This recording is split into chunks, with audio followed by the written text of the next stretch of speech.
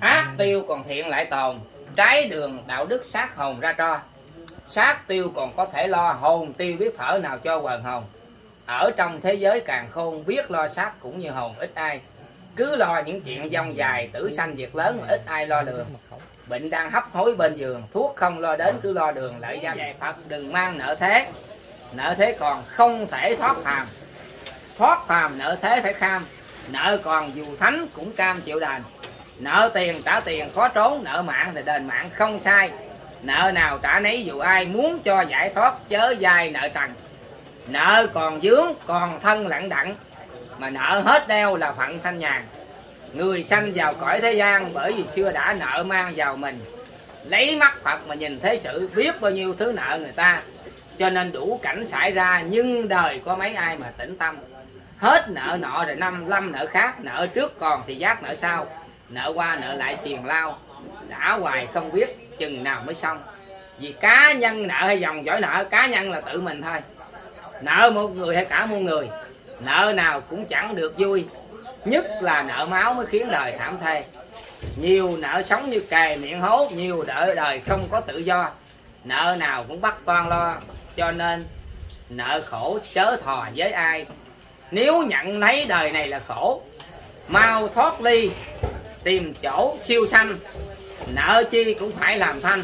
Muốn cho giải thoát thì chớ sanh.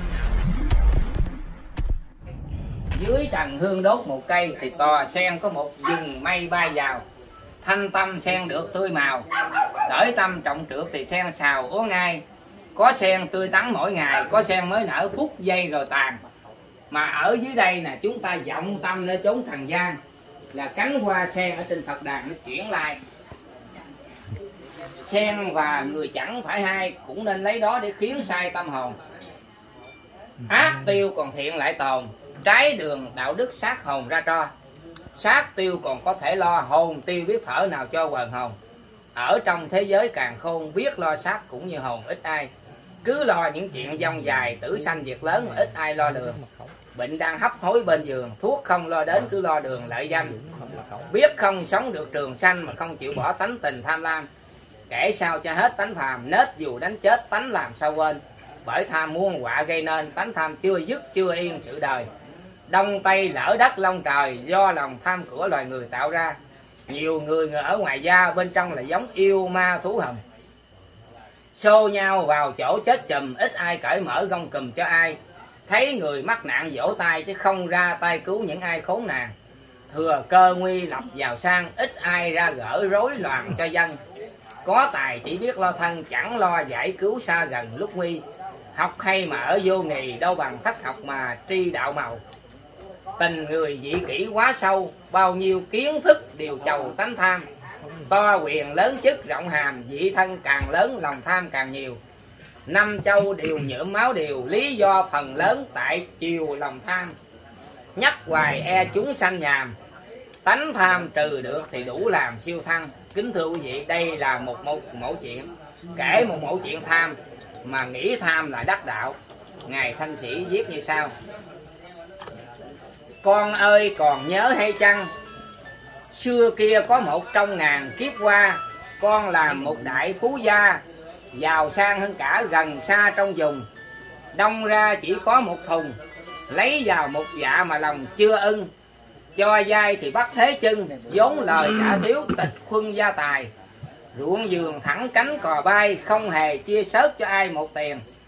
Tuy là bạc học lúa thiên vẫn khe khắc giới tá điền từ tô. Lúa tiền lo góp thu vô còn nhân với nghĩa thì quá khô khan lòng. Gần xa những kẻ bằng nông lấy làm quán ghét phú ông vô cùng.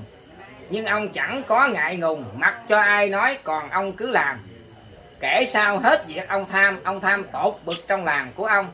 Vợ con còn phải bực lòng, bảo rằng ông chết là không siêu hồn. Thế rồi chỉ có một hôm ông đang sửa kiển mấy bồn trước sân. Bỗng đầu gió thổi qua thân phú ông say sẩm ngã lăn trước nhà. Người nhà liền chạy tuôn ra, thấy ông bất tỉnh như là chết đi. Khiêng ông vào gọi lương y, bảy ngày sau đó mạnh đi như thường. Một hôm từ chốn tha phương có nhà đạo sĩ lỡ đường ghé qua, tối trời đường hải còn xa. Xin ông cho nghỉ đến sáng ra khởi hành. Thấy nhà đạo sĩ hiền lành, phú ông liền nhận lời xin ngủ nhờ. Giống duyên vốn hợp thời cơ, ngay trong đêm đó chuyện trò lại qua. Nhà sư mới liền hỏi phú gia, bệnh ông đã phát từng qua nặng nề thẳng như trong lúc nằm mê, chết luôn nay sát dưới mồ, phải không? Bao nhiêu của cải tiền nông không đem theo được một đồng trong tay. Làm ra không dám ăn xài, chết rồi bỏ lại mặc ai tiêu dùng. Lòng tham lúc sống vô cùng, chết rồi than ấy còn dùng vào đâu. Chính mình mang tiếng hiển sâu, của tiền bỏ lại nó đâu theo mình. Sát thân nhất định rã sình, của tiền nhất định bỏ mình ra đi. Kiếp trần đến phút chung quy, bạc tiền là thứ vô nghì phải chăng? Vì tiền làm mất thiện căn, vì thân mà khiến trầm lưng muôn đời giữ thân trái đạo thân rời, làm tiền phi pháp, tiền rơi không còn. Mỗi ngày tuổi sống mỏi mòn, nhưng lòng tham ấy ngày còn thêm tăng. Càng tham càng nặng tội căn, lần này khổ gấp, muôn ngàn lần qua. Chi bằng suy nghiệm sâu xa, tánh tham hiện kiếp phải là ngu không? Chi bằng lấy kiếp bụi hồng, lấp đường sanh tử, dung trồng thiện căn. Lấy sanh tử đổi niết bàn, đem thân bùng tạo thân vàng dài lâu phú ông nghe nói gật đầu, khen rằng lời ấy ngọc châu khó bì. Nhận mình đã quá mê si, già rồi mà chẳng hiểu gì sự tu. Mãn lo tiền của góp thu, không lo thần chết đến ru lúc nào. Chớ chi được thức tỉnh mau, tội tham đâu đến nổi cao ngất đầu. Diêm dương sắp bắt đi chầu. Hôm nay mới được lời màu đến tay. Phú ông ngước mặt thở dài. Trong lòng hối hận những ngày đã qua nhà sư liền kể thêm ra, xin ông đừng ngại tuổi già hết tu. Thật tâm hướng thiện quầy đầu, chỉ trong nhất khắc là được chầu như lai. Dí dầu sắp chết ngày mai, bữa nay hối ngộ liên đài cũng lên. Tội do tham ấy tạo nên thì là phước cũng tâm đền được ngay. Tâm mê tạo cảnh trần ai, nếu như tâm giác thì phật đài được qua. Giác mê bất luận trẻ già, miễn là giác được hay là còn mê giác tu nhất kiếp phật về mê tu muôn thở vẫn là phàm phu. Cho nên đồng một trường tu, kẻ thì phát huệ mà người ngu suốt đời. Nhà sư vừa kể dứt lời phú ông vừa cũng đồng thời phát tâm. Bắt đầu mộ đạo quyền thâm, lợi danh gác bỏ chuyên tâm tu hành. Bao nhiêu tiền của cất dành, đem ra bố thí nhân sanh xa gần. Vừa làm nuôi sống sát thân, vừa đi khuyên nhủ nhân dân tu hiền thôn quê cho đến thị thiền. Nhờ ông mà tạo phước duyên rất nhiều. Liền vào ở một buổi chiều, hào quang sáng rực trên liều phú ông. Người gần thấy lạ đến trong, thì ra đang thấy phú ông đang ngồi. Nhưng ông đã nhập tịch ngồi rồi, chắp tay vào ngực, thân ngồi nghiêm trang và trên đầu phóng một hào quang. Hào quang sáng rực trên ngàn dặm cao. Người nhà, người gần xa xúm lại nhau chắp tay vào ngực thì thào giái gian.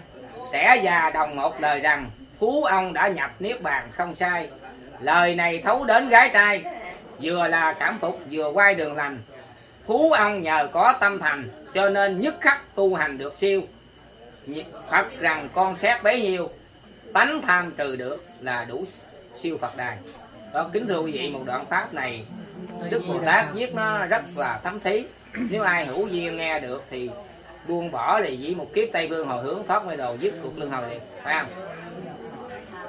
Và kính thưa quý vị hôm nay đây thì mình cũng không phải khoe khoang tự hào gì.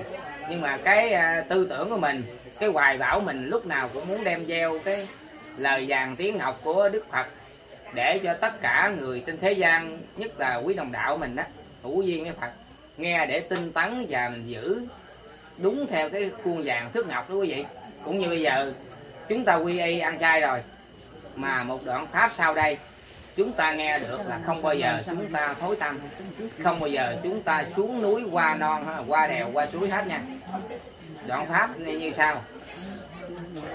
Đạo thường có người đời khiêu nhữ làm lành hay gặp dữ đối đầu.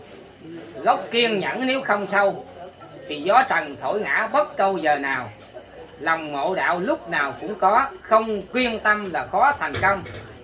Kiên ngoài còn phải kiên trong mới là thắng phục được lòng trần gian. Vì đường đi đến tây phan rất khó, nhiều yêu tinh đón ngõ ngăn đàn muốn làm chúng nó chạy tan, phải lòng bồ tát và có gan anh hùng. Thắng trần tục thì thung dung muôn thở, thua phàm tình phải khổ sở vô biên. Cho nên những kẻ tu hiền, đừng nên nhu nhược, phải nên can cường. Đời dù có mặt đường cắt mấy phải thản nhiên, đừng giấy tay vào. Đừng chiều theo tánh khát khao, thì là mới khỏi rơi vào lưới châm. Kính thưa quý vị, đây là một đoạn giáo pháp của đức phật, gầy một cái giống viên rồi mới đi vô cái nội dung sự việc. Con còn nhớ một ông sư nọ, từ sau khi rời bỏ thê nhi, xuất gia đầu phật quy y, suốt đời trai lạc trụ trì thiền môn được lối sớm tiếng đồn, siêu thiện. Ông vẫn lo tu luyện hàng ngày. Một hôm thời tiết đổi thay, làm ông phát bệnh mấy ngày nằm luôn. Ông lại thấy hơi buồn trong dạ miệng thèm ăn thịt cá vô cùng, làm cho rạo rực trong lòng. Đêm không ngủ được suốt trong mấy ngày, kẻ lối xóm giảng lai thăm viếng. Ông liền đem chuyện ấy kể ra. Một người trong số đàn na làm thinh lén trở về nhà trước đi liền hôm đó thừa khi vắng khách, người ấy mang một sách đồ ăn. Nào là chả, gỏi, gà măng, nào là thịt nướng, cá chân, nực nồng khiến ông bắc đem lòng thèm khát. Đồng thời người ấy phát lên thêm rằng là trong lúc ban đêm, không ai hay biết chớ hiềm ngại chi. Sư nhất định ăn đi chắc mạnh nếu không dùng bệnh chẳng lành đâu ông còn ngần ngại hồi lâu. Sau rồi ông mới gật đầu liền ăn. Chai lạc mấy mươi năm gìn giữ, chỉ một cơn thách thử tan tành. Bệnh ông không những chẳng lành, ít hôm sau đó bệnh tình nặng hơn. Kế ông thấy tinh thần tán loạn, niệm di đà cũng chẳng nhớ rằng và hôn mê cho đến bỏ mình. Đầu thai trở lại cái gia đình hàng heo. Từ nhỏ đến lớn theo nghề ấy, lành xưa không nhớ lại chút nào cứ gây tội lỗi triền lao, bị dây quan nghiệt dẫn đầu thai luôn. Chịu nhiều kiếp vào cuồng ra dại, bị nhiều đời chết hải sống kinh. Càng làm mờ ám chân linh, lòng không còn biết tưởng tin đạo màu. Con ơi, đừng quên câu chuyện ấy, tu gần thành mà quại có thường. Nhà sư ấy miệng rau tương, nhưng trong lòng vẫn còn dương mùi trần. Mùi trần ấy chỉ dằn chỉ nhẫn nhưng ông không diệt hẳn nó đi nên khi sức kém thần si, lòng còn thèm khát những gì hiện ra. Trong lúc đó thắng qua được nó, tất nhiên là phật rước đi ngay. Còn nghe theo nó khiến sai, thì còn chịu kiếp đọa đài khó ra. Chai lạc chẳng phải là ngoài miệng, phải lạc chai cho đến trong lòng. Tu đâu phải lạc chai không, mà còn giới lực và lòng từ bi. Tất cả những hành vi đạo đức phải từ trong đáy lòng thành thật làm ra dù nơi không có người ta, cũng đừng để thói dại tà phát sanh. Cuối cùng mới trọn lành, trọn sáng và gần lâm chung không tán loạn tâm. Di đà vẫn nhớ niệm thầm, thì linh hồn không bị dắt làm đường đi. Lành mạnh cũng như khi bệnh hoạn, bình tĩnh đừng hốt hoảng tinh thần. Từ trong tâm đến ngoài thân, việc nào cũng được xét phân rõ ràng. Nếu tất cả trong hàng thiện tính, giữ được lòng bình tĩnh như trên, cõi nào mình muốn siêu lên tức là sẽ được tội nguyền chẳng không? Tuy dễ được mà không phải dễ. Vì phần đông những kẻ lâm chung thường hay mê sản trong lòng, ít ai tỉnh trí để hồn lìa thân. Gần dứt thở tâm trần chưa bỏ thì càng tiếc thương càng sợ quản lên, mới càng làm cho mối quan khiên nên càng sớm trở lại miền trần gian. Gần dứt thở vững vàng trong trí, vũ sạch không nhớ nghĩ sự đời, chỉ còn lòng nhớ phật thôi tức là có phật đến nơi rước về, lòng tha thiết tràn trề khắp chốn. Và sức thần thông rộng lớn vô biên. Chúng sanh vừa dứt phát nguyện. Tức là có phật đến liền rất nhanh. Trong nháy mắt siêu sanh tịnh độ. Khỏi là hành khổ dụng công. Đó là vũ sạch bụi hồng. Trước giây phút trúc, linh hồn ra đi. Phát tâm phật là quy cõi phật. Phát tâm phàm thì rớt lại phàm phật phàm do chỗ phát tâm tâm nào cõi nấy không làm một ai. Chúng sanh muốn sớm ngày giải thoát thì phải sớm nên. Sớm phát phật tâm thì trồng râu lâu thì rễ ăn thăm. Dù đời lai lóc khó làm tróc nghiêng. Biết lo trước là yên vững nhất để muộn rồi chạy trọt uổng công.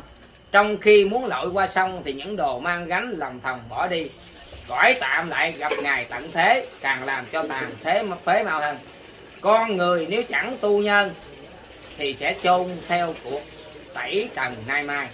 Kính thưa quý vị, quyển đường giải thoát nói về ông sư. Ăn chay mà thèm đồ mặn cỡ lửa, thì cái sự nó thất bại như thế đó. Thì kính mong quý vị nhận xét. Dựa vào đây thì là quý vị là không bao giờ dám dám thối tam ha đó là ông sư tu mấy mươi năm, mà chỉ một cơn thất thử là tan tành. Cho nên bây giờ chúng ta chỉ chỉ một kiếp này thôi. Một phen này dứt sự ủ ê, sau muôn kiếp vẫn về phái lại một phen này gỡ cho xong nợ, ức triệu đời sau mới rỡ tuổi tên. Để quý vị, khổ mới tu, ráng tu cho giải khổ, đừng nản lòng cái nạn nọ tay kia. Phước càng tăng thì tai họa mới càng lìa, ngục đời mở phải nắm chi vào khóa đạo. Và tu cố bước cho tây phương phật đáo lắm trong gai hay khổ báo mặc dù. Nếu kiếp này không tu thoát phàm phu thì kiếp tới chìm sâu trong biển khổ khó gặp Phật để cầu xin cứu độ, khó làm người để nghe rõ kệ kinh. Tuy khó tu trong đời sống đau binh, mà ráng tu được, có thần minh ủng hộ. Tụi quý vị thấy đại gia không mình quyết chí thì có thầy, có Phật ủng hộ chúng ta. Và tu phải tu cho cái tấm lòng tỏ ngộ, mới đem pháp tu ra tế độ nhân sanh. Dùng đạo màu làm đời trượt quá thanh và lấy chánh giáo biến khổ thành cực lạc. Nếu biết rõ cõi đời là dối gạt thì quyết tâm tu đừng có để mắt sai xưa và luôn nhìn đời như mây bị gió đưa, thì lòng dạ thích ưa đời sẽ hết. Quyết lao mãi sạch gương đầy bụi hết, luyện xong thì sẽ hết tánh phàm phu. Đạo muốn thành cần phải dẻo chí tu, và cả đời sống. Chỉ hướng về câu giải thoát là sao hai à, quý vị. Và kính thưa quý vị, hôm nay nếu quý vị muốn nghe thì tôi cũng nhắc tiếp. Muốn khỏi kiếp hồng trần vĩnh viễn, thì lòng đừng lưu liếng thế gian làm nhân, làm phước, muôn vàng, cũng đừng mong hưởng tại đàn cần ai. Và phải một mực nhắm như lai tiến thẳng. Phải cắt đứt bao dây sợi quan trần. Tu cho khỏi trở phàm thân. Chớ đừng mong tu hưởng phước trần về sau. Phước trần chỉ sang giàu danh vọng, nhưng cũng như cái giấc mộng không có hơn. Một khi thần chết đến gần giàu sang danh vọng cũng quăng lại đời. Phước chỉ có một lúc tội lôi muôn thở, đó thường là phước ở thế gian. Vì khi hưởng phước giàu sang, bị giàu sang khiến mê mang tâm hồn. Cho nên đức thế tôn có bảo, tu chớ mong phước báo tại tầng. Bao nhiêu việc phước việc nhân phải nên quyền hồi hướng về chân niết bàn. Muốn về phật đừng mang nợ thế nợ thế còn không thể thoát phàm. Thoát phàm nợ thế phải kham, nợ còn dù thánh cũng cam chịu đành nợ tiền trả tiền, khó trốn. Nợ mạng thì đền mạng, không sai. Nợ nào trả nấy, dù ai muốn cho giải thoát, chớ dài nợ trần. Nợ còn dướng, còn thân lặng đặng mà nợ hết đeo là phận thanh nhàn. Người sanh vào cõi thế gian bởi vì xưa đã nợ mang vào mình. Lấy mắt phật mà nhìn thế sự, biết bao nhiêu thứ nợ người ta. Cho nên đủ cảnh xảy ra, nhưng đời có mấy ai mà tĩnh tâm. Hết nợ nọ rồi năm, lâm nợ khác, nợ trước còn thì giác nợ sau nợ qua nợ lại tiền lao. Đã hoài không biết, chừng nào mới xong. Vì cá nhân nợ hay dòng dõi nợ, cá nhân là tự mình thôi. Nợ một người hay cả muôn người, nợ nào cũng chẳng được vui. Nhất là nợ máu mới khiến đời thảm thê. Nhiều nợ sống như kề miệng hố, nhiều nợ đời không có tự do. Nợ nào cũng bắt con lo, cho nên nợ khổ chớ thò với ai. Nếu nhận lấy đời này là khổ, mau thoát ly tìm chỗ siêu sanh. Nợ chi cũng phải làm thanh. Muốn cho giải thoát thì chớ sanh nợ thần đó quý vị thấy là chư Phật dạy chúng ta là là là vậy đó. Là cái là muốn ra khỏi cái dòng sanh tử, phải nhất tâm trực chỉ niết bàn. Phải lo xong nần nợ thế gian và xây cầu công đức, bước sang Phật đài. Sanh tử có, từ ngày mạng có có mạng là có rõ tử sanh mà giàu sanh tử rõ hàng nghìn chứ lìa sanh tử rõ thật tình ít ai trong sanh tử vui sai sanh tử, lấy tử sanh làm sự tử sanh, đó là cảnh khổ hiện tình. Lòng người cứu thế càng nhìn càng đau, tiếng gọi đạo khác nào sấm sét. Lời khuyên tu như nước nguồn tuôn, mê không tỉnh mà nghiệp không buông, thì đời còn mãi trong trường hận đau. Nhớ phật có hôm nào tỷ thí kiếp chúng sanh như chỉ trong cuồng, tuy là chằng chịch hàng muôn, kiếm ra một mối là gỡ xuông dạng dần mối ấy ở tâm không ô nhiễm, chỉ một đường, cầu kiếm như lai mà thôi. Đó là kính thưa quý vị. Còn quý vị muốn tu mà đắc đạo như ý muốn, thì chí phật không bao giờ lo cho một kẻ. Chí phật là lo cho cả chúng sanh. Muốn tu như phật đã thành, nên noi chí phật mà hành không sai chí như phật có ngày mới thành phật. Chí như phàm đến chết là vẫn phàm. Chí phàm việc đạo khó khăn, phải như chí phật mới làm đạo xong. Chí phật có là đạo không thể hoại. Chí phật cao là quỷ quái khó ngăn, đời nay tu niệm khó khăn. Không nhiều chí phật là dễ dàng bỏ trôi. Chí phật ở mỗi người tự phát và phật không thay phát được cho người. Có tâm muốn giải thoát đời thì là chí phật trong người phát ra và muốn cứu vớt người ta hết khổ, chí phật kia cũng có thể sanh. Cho nên những kẻ tu hành thường do giải thoát giới tình từ bi. Mà có tâm giải thoát mới khiến ly trần thế. Mà có lòng từ bi mới khiến tế độ nhân và muốn tu thành phật thành thần. Phải nên bố đức thi ân cho đời, giúp kẻ tối ra nơi sáng tỏ, giúp người đang đau khổ được vui. Tu là để cứu mọi người, nếu tu không cứu khổ đời được tu. Tu mục đích ở câu giải thoát giải thoát bao khổ ách hồng trần. Tu không giải thoát riêng thân, mà còn tu giải thoát dân khắp trời. Vì đạo phật mở muôn nơi thế giới, đạo phật không chỉ gọi một phương. Cho nên tu đúng phật đường là phải tu có chí chủ trương đại đồng đó kính thưa vậy chữ đại là lớn, chữ đồng là bằng nhau.